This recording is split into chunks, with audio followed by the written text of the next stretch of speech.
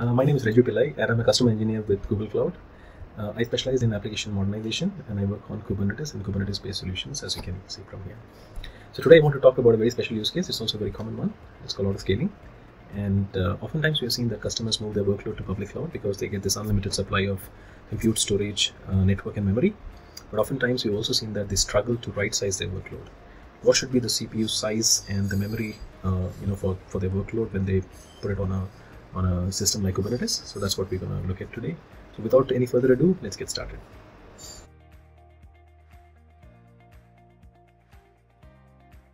Managed Kubernetes offering in the market. About nine months back, we celebrated the fifth year anniversary uh, from the time GKE was generally available to the customers. Uh, in Gartner's evaluation of managed Kubernetes offering, GKE was the strongest in almost every criteria. GKE is also the only Kubernetes offering that supports four uh, auto-scaling dimensions uh, and has proven success in partnering on cost optimization framework for our customers. Five autoscalers, HPA, VPA, MPA, CA, and node auto provisioner. While the below two are infrastructure level autoscaling, that is node autoscalers, the above ones are the pod or workload autoscalers. HPA horizontally scales multiple pod based on the number of replicas when the system parameters such as CPU and memory for a pod exceeds uh, the set thresholds. Uh, VPA, on the other hand, uh, doesn't create new pod instances, but instead tries to dynamically adjust resources such as CPU and memory to meet the application's need. MPA is the best of both worlds. Uh, not only does it create more number of replicas, but it also vertically scales the pod, like in the case of VPA. The requirement is that both HPA and VPA cannot be configured on the same metric. For example, if HPA is based on CPU, then the VPA cannot be based on CPU, but it can be based on, uh, let's say, memory. Uh, the cluster autoscaler works in tandem with the pod autoscaler uh, and helps provision the VMs or worker nodes when a particular pod is scheduled, but none of the existing node nodes can run it. Uh, and finally, we have uh, NAP or uh, Node Auto Provisioner. It helps scale different t-shirt sizes based node pools. For example, a regular 2 CPU, 4 GB configuration, or a compute intensive 60 CPUs and 240 GPU and so on and so forth. Uh, the actual cost saving, however, is in the infrastructure layer, but all of them really, you know, work uh, in tandem and are related. And today, our focus is going to be on VPA. Uh, uh, so the specs are like this. I have picked up a node which is sufficiently large at 64 GB. I have a pod limit at 8 GB. That means if the pod tries to exceed this limit, it will be automatically killed with an OOMKilled status uh, set a request uh, at 2 GB. So this is the minimum memory which uh, the Kubernetes cluster tries to allocate for the pod when it is trying to schedule. However, it so happens that my application does not require more than 1 GB to run. So this is a classic uh, case of an over-provisioned infrastructure where uh, the infrastructure is 2 GB while I require only 1 GB. I have another program uh, which is a Java-based environment and JVM basically brings in two more concepts which is uh, XMX and XMS, which are the heap minimum and heap maximum. So the Java program does not have a visibility beyond the heap uh, uh, of the JVM. So that is why it is also important. Uh, but here I am starting with a very uh, low request of uh, 500 MB or a 0.5 GB, but my application actually requires 2 GB to run properly. So this is actually a classic case of under provisioned infrastructure so my expectation from the VPA is that in the previous case, it is going to step down and release 1 GB and set the limit uh, to uh, an appropriate value.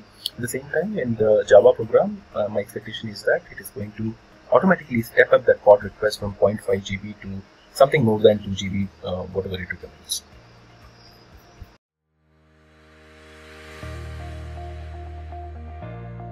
Let's do a quick uh, code walkthrough. So I've written these two programs. One is the Python, another is the Java. Let's look at the Python first.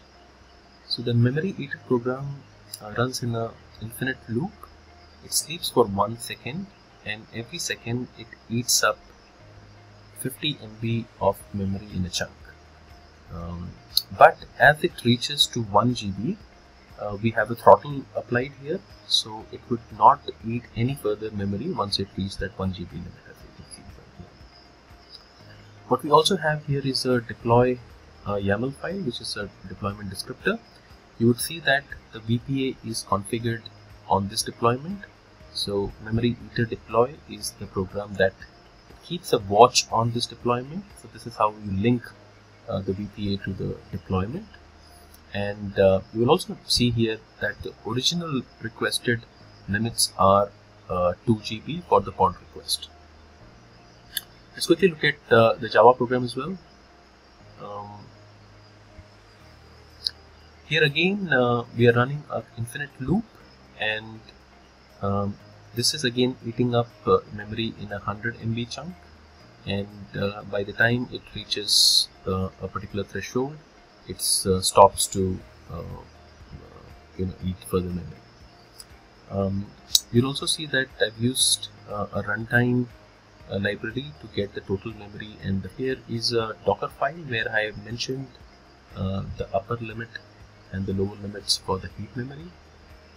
Um, and yeah that's pretty much it. So let's go ahead and uh, deploy the application.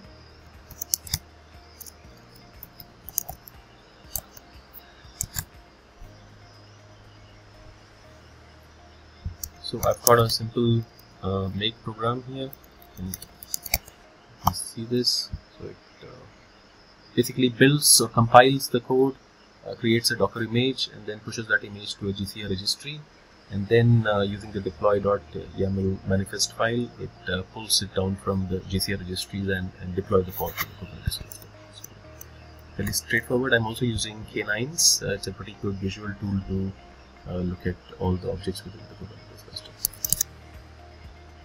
Program is eating up memory at 50 MB per second rate but you'll also see that by the time it reaches 1 GB it will start to throttle because we have put a limit to limit in the application. You'll also see that the free memory available is the entire node memory which was set at 64 GB. Let's see if the VPA has made any recommendation.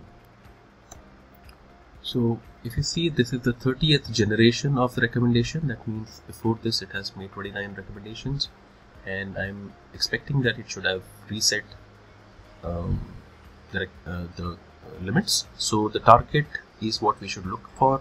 So the memory if you see it has come down from 2 GB to 1.27 GB it not only made a recommendation around this if the auto mode is set it will go ahead and change the limit as well which you can verify from the pod spec. Um, if you go in here you will see that the memory is now set to 1.2 GB, which is the uh, minimum required or guaranteed uh, memory required for the program to run. Of course, there is a limit uh, which is 4.8 GB, but this is not really that important. Where, what is important is the minimum required memory. Let's look at the Java program also parallelly. You'll see that the Java program is also, uh, you know, uh, consuming somewhere around uh, 3 GB of memory. Now uh, based on this let's look at the recommendation the VPA has made. So here again it is the 32nd generation. Uh, that means before this 31 recommendation has been made. And this is now set at 3.7 GB. So unlike the previous case in which it reduced the memory, in this case it has increased it from 0.5 GB to 3.7 GB.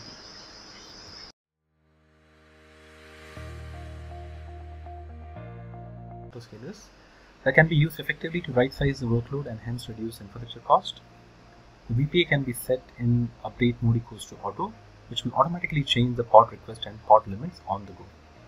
Different program runtimes, like we saw Python and Java, may behave differently based on where the code is running.